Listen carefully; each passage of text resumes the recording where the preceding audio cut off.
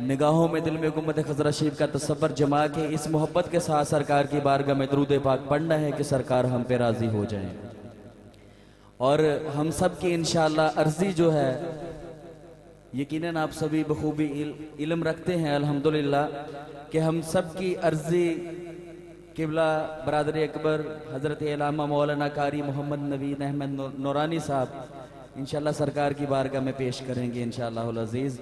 تو ہم نے ان کو جو عرض کرنا ہے، وہ آج محبت کے ساتھ مل کے کرنا ہے۔ باواز بلند حضور کی بارگاہ میں درود پاکہ نظرانہ پیش کریں۔ صلی اللہ علیہ یا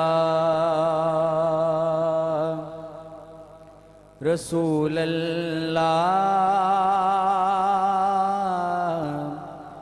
وسلم علیہ یا حبیب اللہ۔ صلی اللہ علیہ یا رسول اللہ وسلم علیہ یا حبیب نعرہ تکبیر نعرہ رسالت نعرہ رسالت سیدی مرشدی سیدی مرشدی.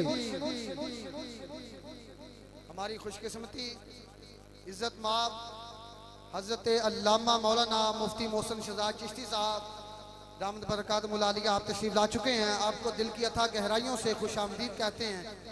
بڑپور انداز میں آپ کا استقبال کرنا ہے ایک مرتبہ نعرہ نعرہ تکبیر، نعرہ رسالت، نعرہ حیدری، سیدی مرشدی۔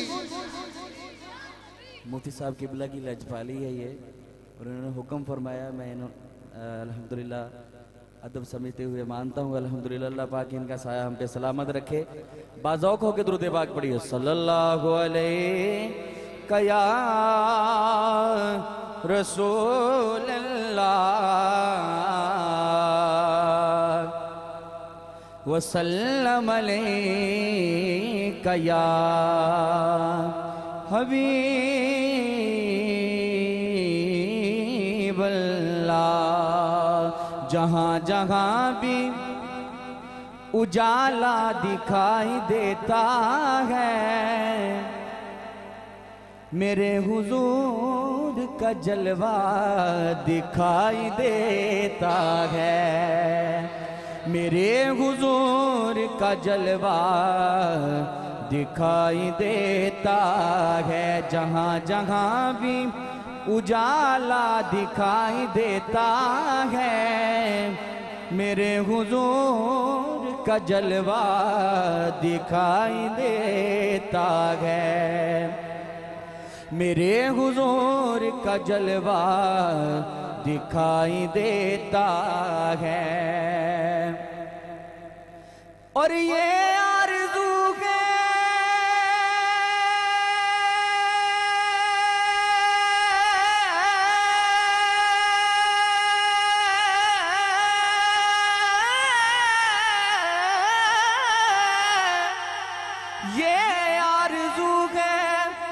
وہاں جا کے میرا دم نکلے جہاں سے گم بد خزرہ دکھائی دیتا ہے۔ جہاں سے گم بد خزرہ دکھائی دیتا ہے، جہاں سے گم بد خزرہ دکھائی دیتا ہے۔ ان کے انداز زمانے سے جدا ہوتے ہیں۔ جو شگن شاگ مدینہ کے گدا ہوتے ہیں۔ جو شگن شاگ مدینہ کے گدا ہوتے ہیں۔ اور مانگنے والوں